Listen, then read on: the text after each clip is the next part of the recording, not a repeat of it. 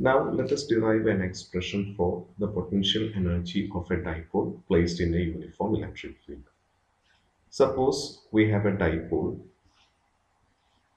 dipole, let's say this be the dipole. Dipole basically means two equal and opposite charges separated by a distance, by a small distance. So this form constitute a dipole. Let, let us call this point A and let's call this point B.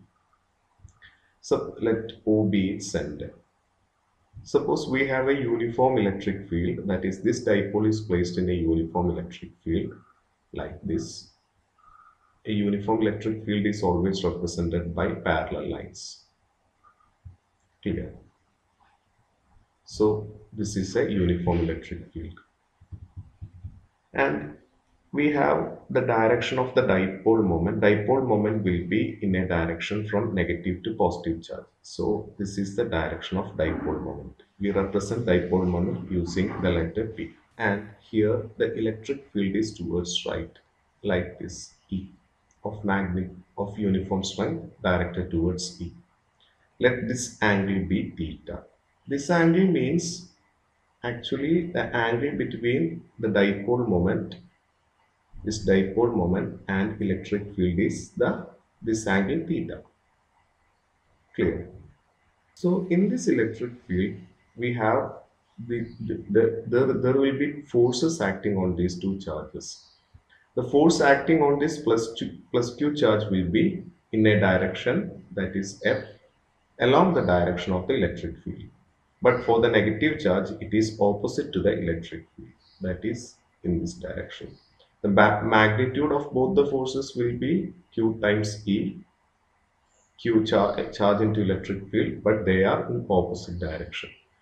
So if two equal and opposite forces act on a act on this charge separated by a distance, this will rotate this dipole. So the dipole, let's say this dipole is rotated through a small angle about the midpoint. Let this be the new position of A. Let's call that as A dash. And let this point be B dash. Suppose this angle this angle of rotation be d theta. That is this small that is from this position B to B dash this small angle be d theta. Now we have the torque let tau represent tau be the torque. Tau be the torque. And d theta the small angular displacement. The angular displacement.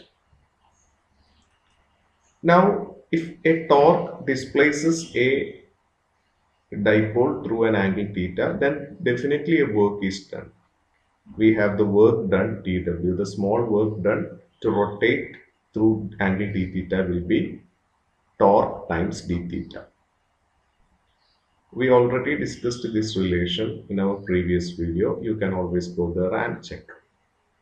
But also you know torque acting on a dipole will be p e sine theta. But torque tau is equal to p e sine theta. We also derived this relation in the video previous video. If you want to know how to derive this i'll put the link in the description below. So you can substitute the value of where p is the dipole moment e is the electric field theta the angle between p and e. So the small work done dw will be pe instead of tau you can substitute pe sine theta d theta. Let's call this as equation number one so to get the total work, total work, total work W, what you need to do is integrate this value PE, PE sine theta d theta. Since the variable is theta, you have to integrate from it from theta 1 to theta 2. Clear? That is, let's say, if this is the initial position of the dipole let's say AB this is minus q charge this is the plus q charge. Let this be the theta 1 now it is in here new position p dash a dash.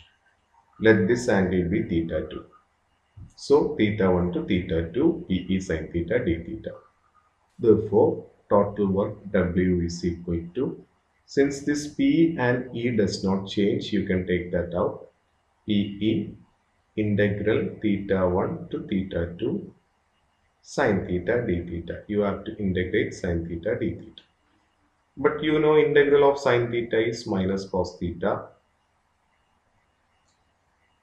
Let me erase this. Therefore, W will be PE integral of sine theta is minus cos theta now the lower limit is theta 1 and the upper limit is theta 2. You can take this minus outside. So W will be minus PE. First you have to put the upper limit that is cos theta 2 minus cos theta 1.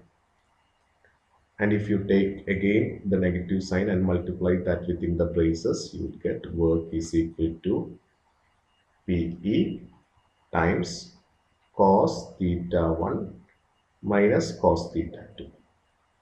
But you know, the, this work is stored, the work done to rotate the dipole is stored as its potential energy. Therefore, potential energy,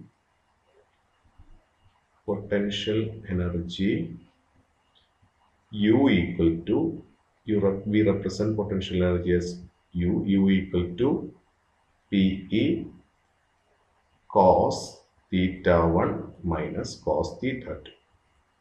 So this is the expression for potential energy. Now we have the potential energy U equal to PE cos theta 1 minus cos theta 2. Suppose let let's say this line represents the electric field, the direction of electric field, and we have dipole initially perpendicular to the electric field, which means the dipole moment of the dipole is perpendicular. Dipole direction of dipole moment is in this direction. That is actually perpendicular to the electric field. So let's say theta 1, theta 1 equal to 90 degree. And you made to rotate this dipole through an angle theta. That is that is now the dipole is in the new position. Let's say this q comes here plus q comes here and minus q goes to here. Suppose i write a here. This is the new position a dash. This is the initial position b. This is the b dash now we have the theta 2 this is the theta 2 theta 2 let's say some angle theta okay now if you substitute these values in here, you will get you will get potential energy U equal to PE into cos theta. One means cos 90 minus cos theta. Theta 2 is theta. So this will give PE into cos 90 value of cos 90 is 0 minus cos theta which will give minus PE cos theta. But you know PE cos theta means, you know, AB cos theta is A, A dot B. So PE cos theta is equal to, here you have to write minus, this one is P dot E. So in that case, the potential energy is equal to the dot product of the dipole moment and electric field. Negative of the dot product of dipole moment and electric field. Clear?